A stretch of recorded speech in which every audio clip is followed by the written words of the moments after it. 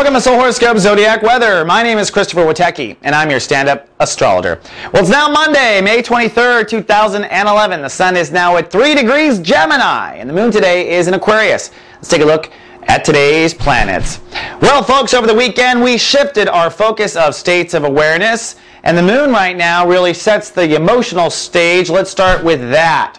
Today the moon is in Aquarius, where it has been since late yesterday afternoon, depending on where you live on planet Earth. But with the moon in Aqua, it allows us to feel the big picture, which is kind of good because we are transitioning. So in your horoscopes, I'll talk about where the moon is focusing your emotions today and how that may or may not contrast the sun. We're in chapter one of Sun in Gemini. We're now working on the Gemini state of awareness. Now, for planet Earth, the Gemini state of consciousness is our communication consciousness, how we put two things together, how we communicate, diplomacy, ambassadorship. I would imagine in the next 30 days we'll see some really interesting negotiations, especially between Israel, right, and the surrounding Arab nations. I think we're going to see a lot of negotiation. I think we're going to see surprising news come out on the scene in each of our horoscopes. I'm going to talk about how this Sun in Gemini is actually just a momentary quick break before things really speed up again when the sun moves into Cancer. But before we click on your horoscope to see what it's all about, let's take a look at the nodes of each of our brothers and sisters and what state of awareness they'll be focusing on with Sun in Gemini. Let's start now with those air signs.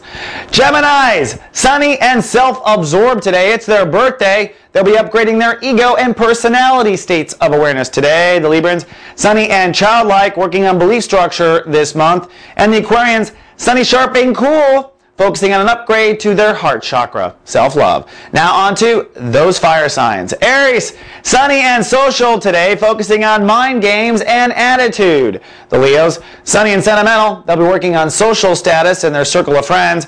And the Sagittarians, sunny, chatty, and pensive today, this month, upgrading relationships and balance. Then on to the earth signs. Taurus, sunny and professionally passionate today. They're upgrading soul capital and their light casting potential. The Virgos, sunny and hyper aware. They are focusing on career and legacy. And the Capricorns, sunny and productive. They'll be focusing on their physical reality. Then lastly, the water signs.